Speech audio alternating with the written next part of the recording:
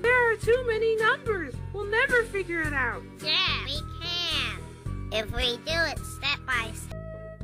One thing we can do is add these two together. Put these together.